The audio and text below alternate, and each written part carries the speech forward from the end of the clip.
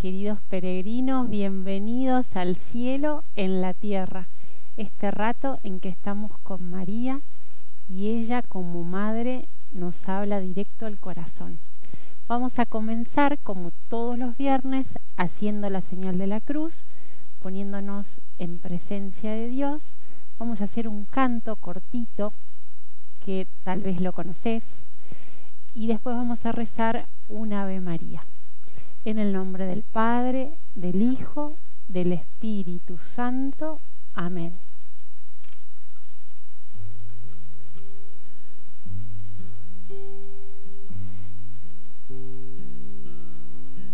Cuánto he esperado este momento. Cuánto he esperado que estuvieras aquí. Cuánto he esperado que me hablaras. Cuánto he esperado que vinieras a mí, pues nadie te ama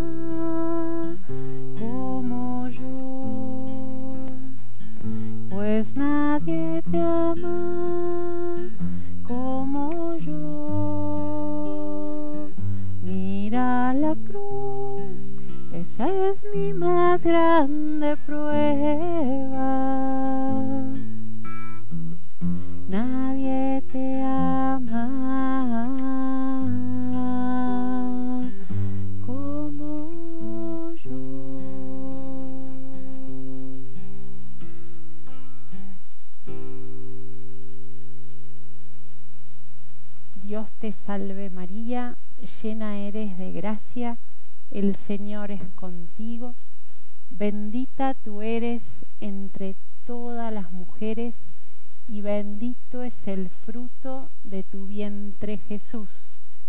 Santa María, Madre de Dios, ruega por nosotros pecadores, ahora y en la hora de nuestra muerte. Amén. Fabi, si podemos poner la imagen de la Virgen. Así hacemos una oración. Señor Jesús, te pido un nuevo gusto por la oración, que me enseñes a orar, que sanes mi corazón, que pongas en mi mente pensamientos buenos y quites los malos, que pongas en mis labios palabras buenas, que sanes mis vínculos y me ayudes a confrontar con tu amor mis prejuicios. Jesús, tanto me amás que te entregaste por mí en la cruz para el perdón de todos mis pecados. Gracias Jesús por tu bondad. Que tu paz llene mi vida. Líbrame, Señor, de todos mis temores.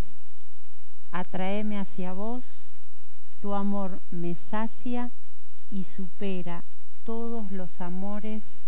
Amén.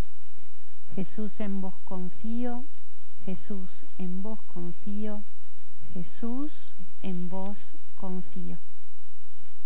Amén. Arrancamos un nuevo programa. Hoy tenemos para el final un testimonio hermoso, eh, pero bueno, ya en un ratito vamos a llegar. Recordá que podés comunicarte con nosotros a través del número 117-007-7777. También nos podés encontrar en Instagram, arroba canal Santa María, y podés encontrarnos en YouTube, donde se suben los programas del cielo en la tierra. Hoy arrancamos compartiendo y reflexionando con la palabra de Dios. El viernes pasado la Virgen nos hablaba de la oración. Ella que es la gran maestra nos enseña a orar. Y una de las maneras más espectaculares de aprender a orar es mirándolo a Jesús, contemplándolo a Jesús. Por eso vamos a compartir y vamos a orar en este momento con eh, el Evangelio acompañando a Jesús en Getsemaní. te invito a abrir el corazón, a entrar en la palabra, a escucharla, a recibirla, a orar, a orar con Él. Vamos.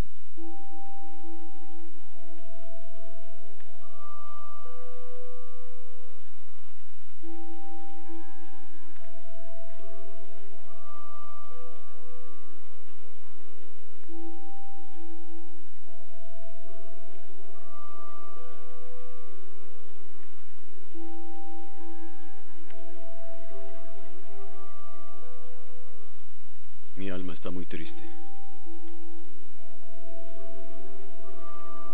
Aún hasta la muerte.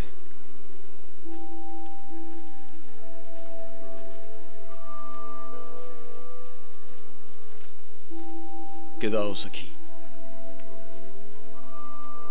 y velad conmigo.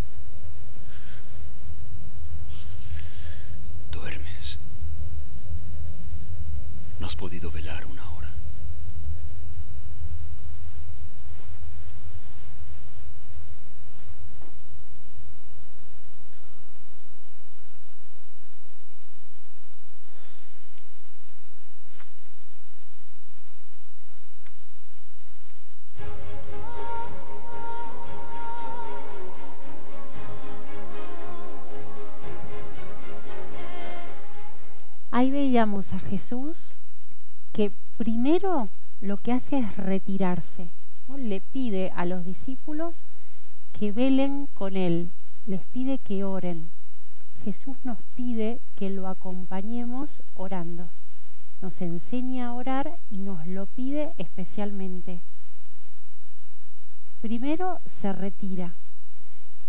Después vemos cómo Jesús habla de corazón a corazón con su Padre. Abba, Padre, ese amor de hijo, esa confianza. El viernes pasado la Virgen nos enseñaba la oración, palabras del corazón, palabras sencillas. La oración, este diálogo, este coloquio, ida y vuelta con Dios, el corazón del hombre y Dios. Jesús termina diciéndole que se haga tu voluntad y no la mía. también nos enseña que cuando oramos es un gesto de confianza muy grande terminar así la oración. Señor, yo quiero esto, madre, me pasa lo otro, esta es la situación que estoy viviendo, eh, estoy enojado, compartir lo que vivimos y al final siempre decirle a Jesús, yo te pido esto, pero que se haga tu voluntad y no la mía. Esa confianza de que Dios nos concede siempre lo que es mejor y a su tiempo nos va dando todo lo que es bueno para nuestra salvación y para la salvación de las almas.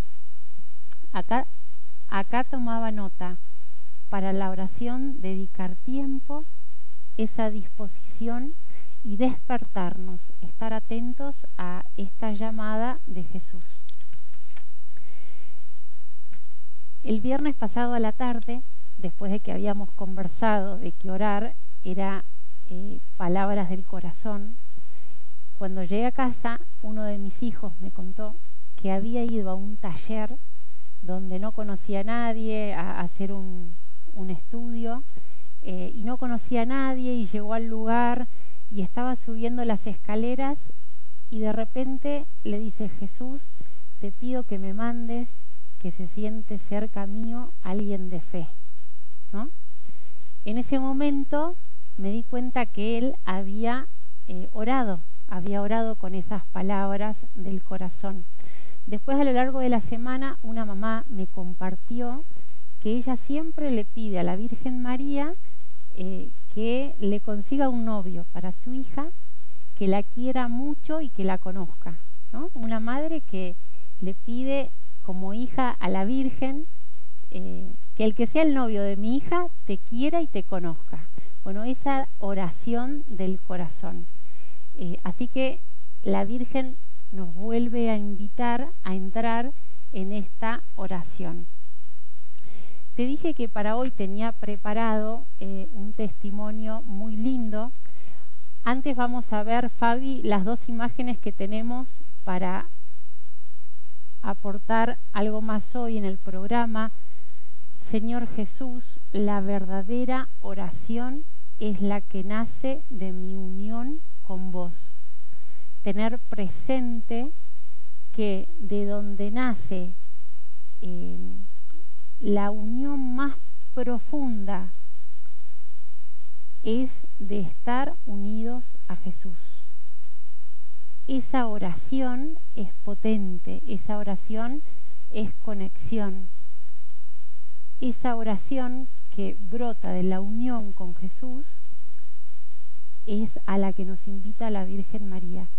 Y la forma que tenemos de vivir unidos a Jesús es orando, haciendo la vida oración y amando mucho y permitiendo a Dios que ame a través nuestro.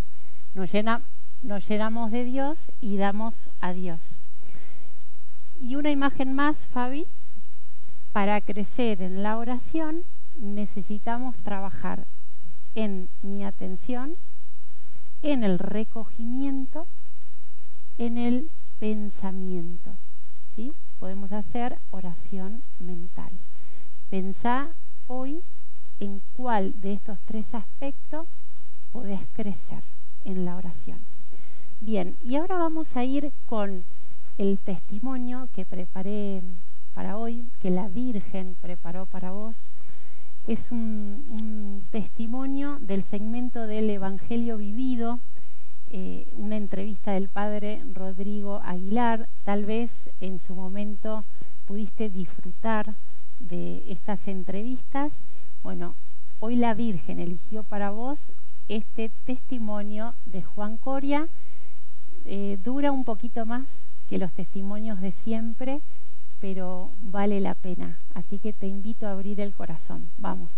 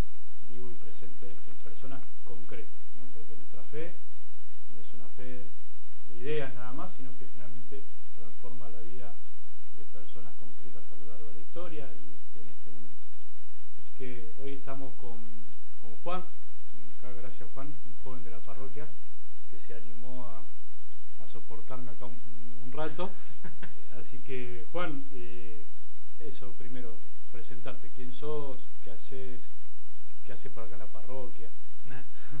Bueno, yo soy Juan, eh, tengo 24, soy servidor acá en la parroquia hace un año y medio más o menos, un poquito más. Anteriormente también fui servidor en infancia misionera muchos años. Y bueno, mi regreso fue acá en parroquia, porque yo servía en Capilla de Luján antes. Y nada. ¿Y qué, qué fue lo que, lo que te hizo volver a, a la iglesia? Porque en un momento por ahí te alejaste, y así como por ahí nos pasa a todos, en algún momento de la vida, ¿qué fue lo que te trajo de vuelta? ¿O qué situación? Y fue una serie de, de eventos que quizás pasaron. Eh, principalmente fue por ahí un, un retiro de, de jóvenes al que me invitaron de la nada, una invitación general en Facebook, invitaron a mucha, muchos y yo de casualidad recibí la invitación y decidí participar. porque pensaba, ¿por qué no? Si Claro. después de tanto tiempo. Había dejado como tres o cuatro años más o menos ya. Y un, un año y medio más o menos había dejado completamente hasta la misa. Y fue mi regreso ahí y después me interesé un poquito más, un poquito de nuevo, ¿no? Como volver a encontrarse con, Con Jesús. con Jesús eh, fue fuerte en ese momento y, y no, empecé a ir a misa un poco más recurrente.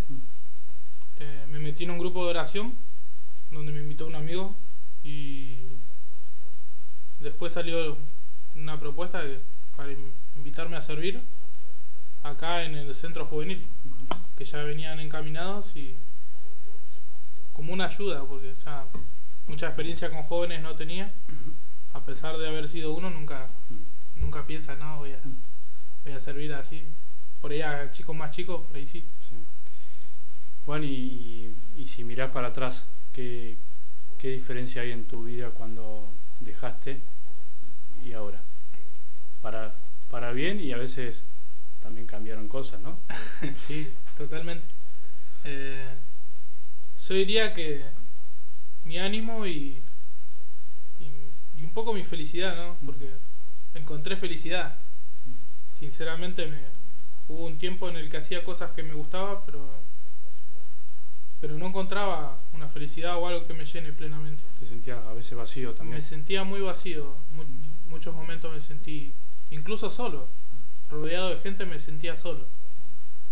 Como que me, me faltaba algo en mí, pero no sabía qué en ese momento y no nunca lo, lo medité tampoco.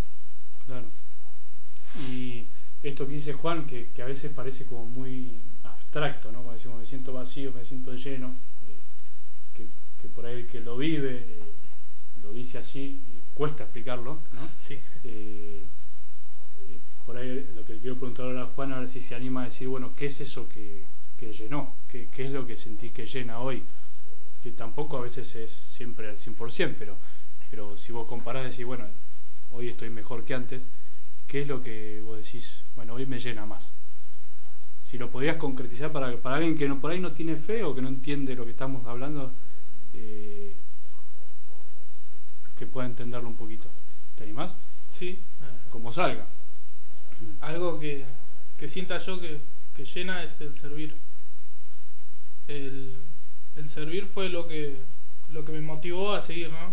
El- cuando volví y me empecé a pagar, como que volví a estar, sentirme un poco vacío, ¿no? Porque no, no vivía la misa como quizás me, me hubiese gustado o, o todo eso, ¿no? El complemento que encontré en ese momento fue el servir. Fue el impulso que necesitaba, ¿no? Sentía, mi felicidad la sentía ahí, En hacer algo por otros. en hacer algo por otros. Ya sea entregar una vianda de, de alimentos, eh, es muy bueno, pero si uno lo hace con amor, no, no tiene tanto fruto, ¿no? Claro. Eh, esas pequeñas cosas que, que fui descubriendo. El, el darle un poco de catequesis a un joven que quizás no, no conoce a Dios o no tiene mucha vergüenza o, o se siente intimidado ¿no? ante todo lo que uno le va proponiendo. Pero ahí encontré la felicidad. Eso fue lo que me fue llenando. Eh, es difícil. Sí, no, Eh, se no- entiende. no es fácil tampoco porque uno tiene que disponer tiempo que quita de otro lado, pero siempre con mucha alegría. A veces cansado, pero en ese momento se te olvida todo. Claro. Eh, los problemas, el, el que al otro día te tenés que levantar para ir a trabajar, no, no te olvidas de todo. Es, es esos cinco minutos de felicidad que en los que está Dios totalmente. Qué lindo. Qué, qué lindo esto que dice Juan, ¿no? que creo que de alguna manera lo que experimentamos todos, los que tenemos fe, y también los que no tienen fe, porque realmente el que no tiene fe eh, también descubre su felicidad eh, amando. Lo que pasa es que la fe nos da algo mucho más grande, más profundo que, que- el amor simple, el amor humano, ¿no? y eso es lo que de alguna manera queremos transmitir. Así que gra- gracias Juan por contar eso y, y- animarlos a eso, ¿no? Tenemos que, no queda otra, la fe se- es vacía, es muerta si no, si no se traduce en obras, y, en el fondo es porque estamos hechos para amar, eh, nacimos para, para eso, para amar y ser amados. Y bueno, por último, eh, Juan, preguntarte eh, qué evangelio, qué palabra de Dios te viene a la cabeza, así como que algo que te representa, o por ahí al- alguna palabra que te marcó y te hizo volver, o una palabra que te dio consuelo en algún momento difícil. Si te viene algo a la cabeza, no importa la cita, eh, olvídate, Eh, si no, o tal escena del Evangelio, eh, que a mí me, me gusta mucho. ¿Te ocurre alguna? No me acuerdo bien una cita bíblica, pero sí una parte de la película de la pasión. Quizás es muy Bueno. o algo, pero La, pa- la pasión. eh, mucho de lo que lo que me hace revivir y renovar mi fe es la pasión, ¿no? el sentir que Jesús mu- murió por mí y por todo lo que soy, ¿no? Por yo sentirme eh, un pecador muy grande, ¿no? Porque así es como me siento muchas veces. Y sentir que Él hizo algo tan fuerte y tan difícil por alguien como yo, me hace sentir que, que lo mío no importa, pero no tanto como yo creo. Claro. Si hago que todo lo que yo creo de mí me detenga, eh, No harías ahí nada. estoy, no, no haré nada.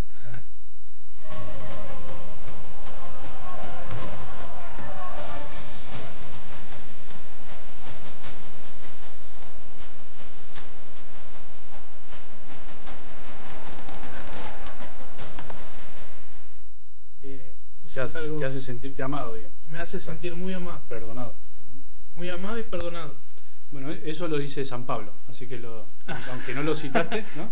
Eh, San Pablo dice, ¿no? Me, me amó y se entregó por mí, ¿no? Y, ve, y contemplar la pasión eh, es lindo para, para volver a, a refrescar eso en el corazón que a veces se nos olvida por un dolor, por una tristeza, ¿no? Nos miramos demasiado nosotros mismos, nuestro pecado, nuestra miseria, ¿no? Mirarlo a Jesús en, en la pasión eh, nos ayuda a volver a levantar. Así que gracias Juan por, por ese testimonio y bueno, a seguir trabajando. Sí, obvio, siempre. Eh, a no aflojar y bueno, ojalá que el testimonio de Juan, que es un joven también, que, que tiene todas sus, sus dificultades como todos los que andan por ahí, nos ayude a descubrir que Jesús sigue, sigue trabajando en los corazones de los que creen.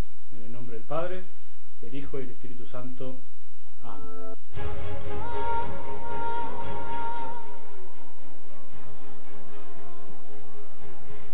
Decí vos también, me amó y se entregó por mí. Me amó y se entregó por mí. Creo que eh, este testimonio nos regala algo también súper luminoso, que es un complemento de la oración, que es el servicio, ¿no? esa llamada de la Virgen a servir, a amar, a entregarnos a los demás, a hacer buenas obras para el bien de los demás. En el testimonio Juan decía, el fruto de volver a Dios, el fruto de servir, es eh, la felicidad, eh, el ánimo, las ganas de vivir, eh, de, seguir haciendo cosas, ¿no? Y él decía que estando con gente experimentaba la soledad y cuando vuelve a Dios experimenta como ese gozo profundo, esa certeza de que Dios lo ama, de que no está solo y de que Él lo sostiene. Así que bueno, hoy la Virgen te regalo este, a este testimonio, guardalo en tu corazón y quedémonos rumiando eh, todo lo, que ella nos regaló en este programa. Acordate de, que nos podés escribir eh, para poder compartirnos un testimonio, una experiencia y nos encontramos el viernes que viene en el cielo, en la tierra, el lugar donde María nos espera para hablarnos de corazón a corazón. Hasta el viernes. Chau, chau.